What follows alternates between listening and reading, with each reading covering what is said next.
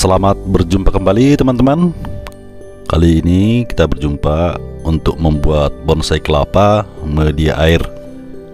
Jadi inilah bahannya teman-teman. Di mana ini sudah bertunas. Dan sebelumnya ini kita kupas dulu dari sabut kelapanya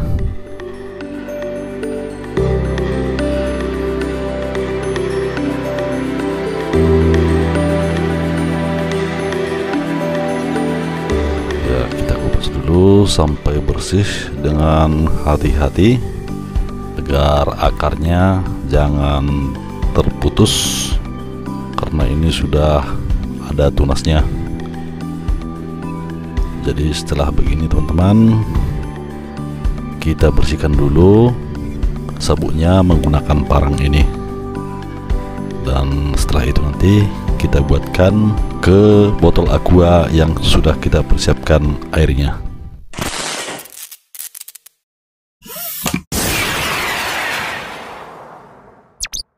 Nah, jadi ini teman-teman sudah kita bersihkan dari dan ini adalah botol aqua yang mana sebelumnya sudah kita buatkan lubang. Tapi tidak apa-apa, ini masih bisa kita gunakan. Nanti airnya kita buatkan di sini. Jadi sebelumnya ini kita berikan dulu sabut kelapanya agar dia nanti bisa menghantarkan airnya ke atas ke batok kelapanya dan ini nanti kita letakkan demikian. Dan nanti airnya akan mengalir dari sabut kelapanya.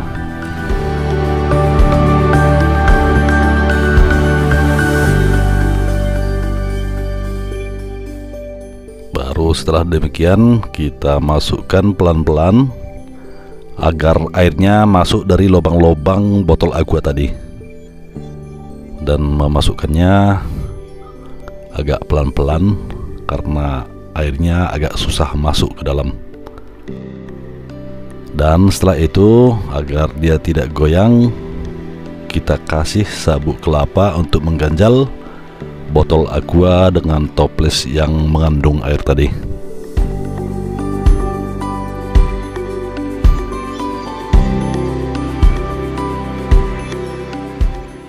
ya kita kasih keliling sabuk kelapanya agar dia kokoh dan tidak tumbang.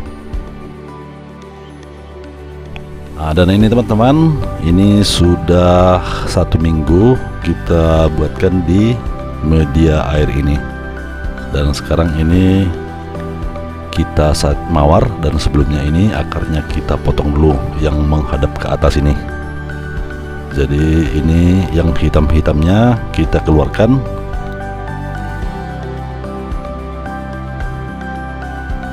dan juga pelepah yang paling bawahnya kita potong habis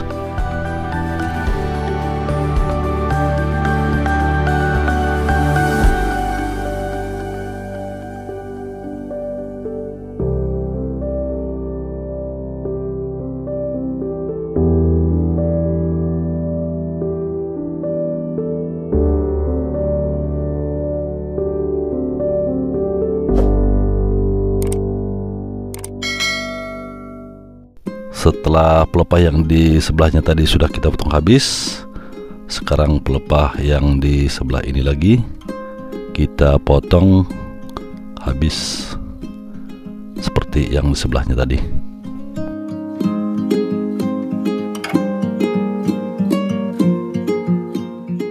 Dan ini kita belah dulu agar nantinya turasnya menghadap ke atas jadi ini kita belah. Dan setelah itu kita sayat mawar. Karena kalau tidak kita buat demikian nanti tunasnya tidak mau membengkok ke atas. Jadi nanti akan terus ke samping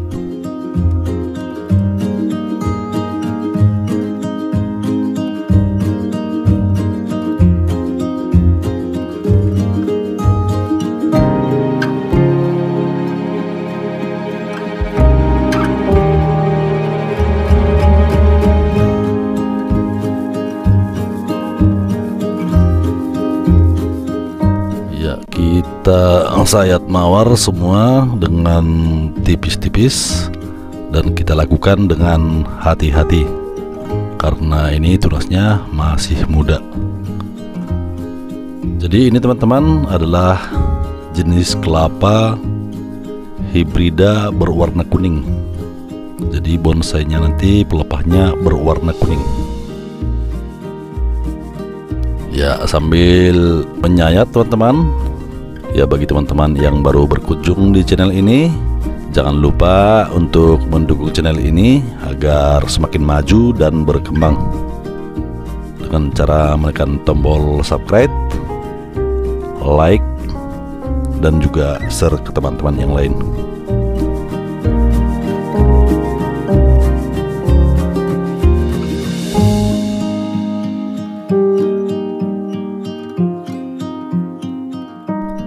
Ya, terima kasih sudah mendukung channel ini dengan menekan tombol subscribe dan tombol loncengnya.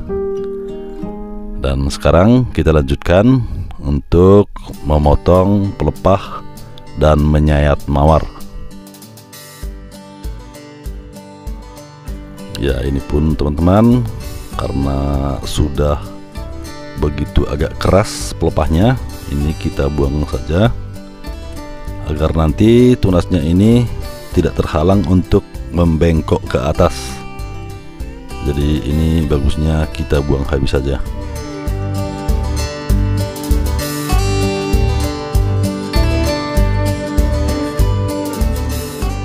Baru pelepah yang ini kita belah lagi. Dan kita sayat mawar secara tipis-tipis agar ini nanti pelepahnya cepat mengering.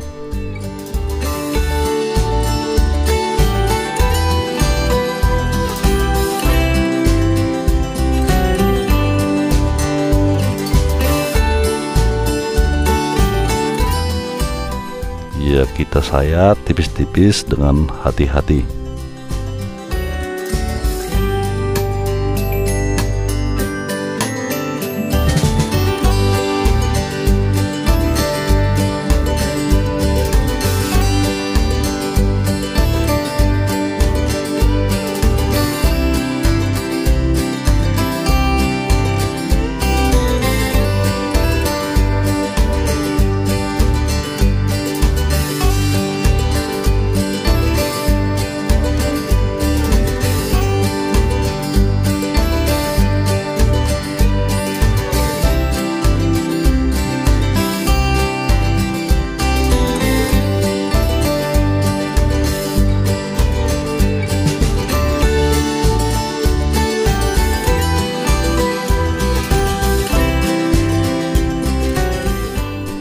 demikian juga yang pelepah bagian bawahnya semuanya kita sayat tipis-tipis dengan hati-hati.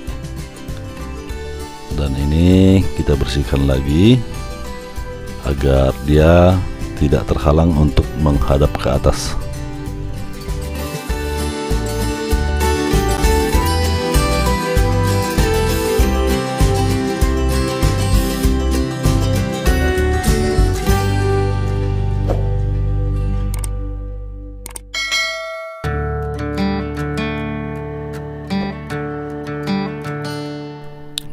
ini teman-teman akarnya sudah kita patahkan tadi. Ini nanti akan menghadap ke atas. Jadi ini teman-teman, setelah satu bulan lamanya, ini sebenarnya tanpa disengaja, ya bentuk daunnya seperti daun bonsai gimbal.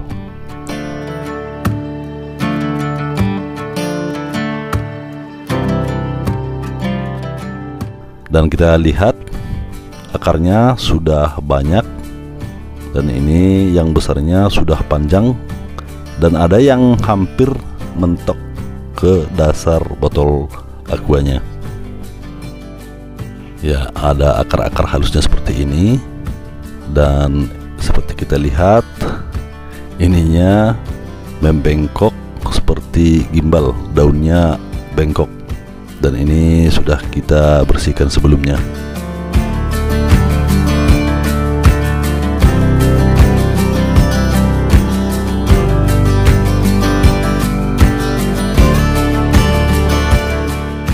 ya akar-akarnya ini kalau sudah mentok nanti kita ganti lagi ke media tanah.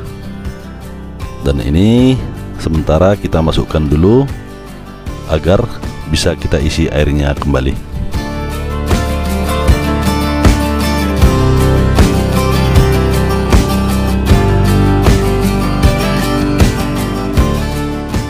Sekarang kita isi air ke dalam toplesnya agar sabuk kelapanya nanti tidak mengering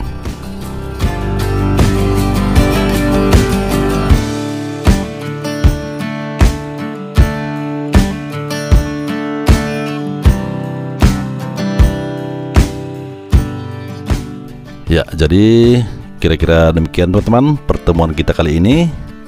Mudah-mudahan ini bermanfaat buat teman-teman semua.